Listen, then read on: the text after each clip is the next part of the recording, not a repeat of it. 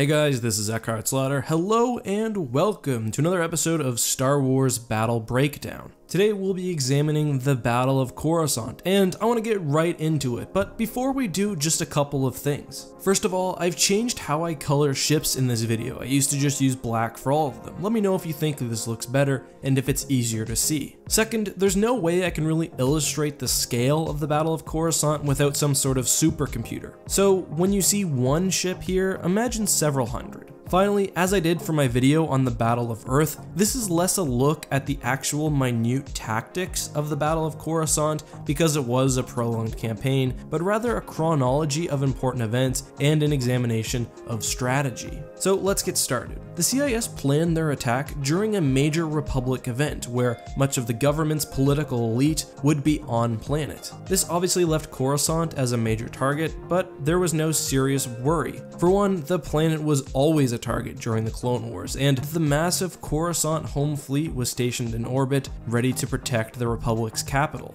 Coruscant was also deep in the galactic core, and it was believed that if any separatists moved towards the planet because of the presence of Republic stations among major hyperspace lanes, they would be identified. However, in a very Palpatinian move, the Confederacy struck using a previously unknown hyperroute. They collected much of their fleet in the deep core and launched a surprise attack on the Republic. Before we go into the actual attack, let's take a second to look at the home defense fleet. I've analyzed fleet composition during the Battle of Coruscant in prior videos, mostly in reference to various works like the Republic Commando series. If you're interested in how I get the numbers I use today, I'll link to that video above. Anyway, although depleted due to the need for ships in the Outer Rim, the home defense fleet would have still included thousands of vessels, primarily Venators, Carracks, and Dreadnoughts. Striking with surprise, a massive separatist fleet made up largely of munificent frigates, recusant destroyers, but also with some Providence dreadnoughts and Lucrehulk battleships, was able to catch the Republic fleet unprepared,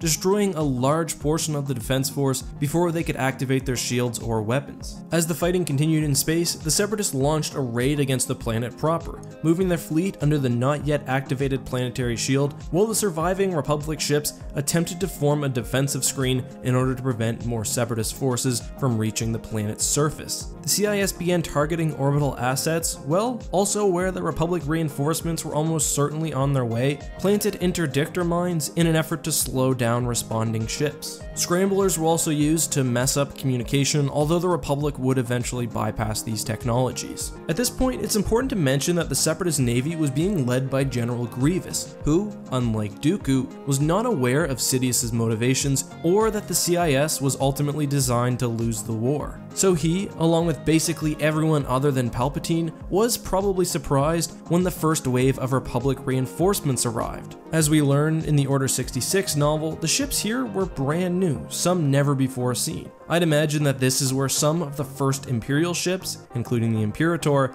Tector, and Victory 2 Star Destroyers, made their official debut. On the surface, Grievous was successful in capturing Palpatine and escaped to space. However, the fighting was very heavy at this point, and the CIS were no longer dominating. Fleeing to his command ship, Grievous was pursued by several Jedi. However, a large group of buzz droids launched from a nearby Lucrehulk was able to stop the pursuers. Safely at the Invisible Hand, Grievous broadcasted Palpatine's capture to the Republic, causing massive demoralization across the galaxy. However, any sense of a separatist victory would be short-lived. Almost immediately after, the tide of battle was turned as the various open circle fleets arrived before Grievous was able to flee. With this, the Coruscanti planetary shields were activated, preventing a separatist retreat. The CIS were now on the defensive and moved to protect Grievous's flagship, the Invisible Hand. With the open circle fleet came famed Jedi Anakin Skywalker and Obi-Wan Kenobi. With the help of the 501st, the two heroes moved towards Grievous's cruiser,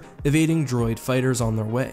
As they boarded, the Guarlara, a Venator Star Destroyer, believing that Palpatine was already rescued and off ship, broke through the CIS screen and engaged the Invisible Hand at point blank range, seriously damaging the flagship. On board, the Jedi defeated Dooku, who is killed, and Grievous, who retreats. However, Home Fleet Strike Group 5, led by none other than future Imperial Lorth Needa, launches another attack on the Invisible Hand, damaging it and causing it to fall to the planet's surface. With Palpatine rescued and the Invisible Hand destroyed, the Confederacy have failed all of their primary mission objectives. They collect Grievous, the planetary shield is either destroyed or lowered, and the fleet escapes through hyperspace. This spells the beginning of the end for the Confederacy of Independent Systems. They gambled with a lightning attack on Coruscant and lost. However, if we're being honest, the Confederacy really had no chance here. They were designed to fail. The Battle of Coruscant was supposed to scare the citizens of the galaxy and move the Republic towards further militarization. Palpatine's second goal was to move Anakin further towards the dark side and prepare the young Jedi to replace Dooku as his apprentice. I'd say he was pretty successful in that respect.